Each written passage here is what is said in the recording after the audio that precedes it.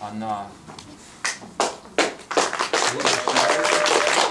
завершает наш концерт. Его первая песня по бульварам. Это, это не просто завершают. Не слышно ничего. Там же еще будет ваше попутное. Нет, я говорю, что это уже как бы финальная часть нашего концерта. Вот. А, Анечка, пожалуйста. Анечка это начало. Анечка, да.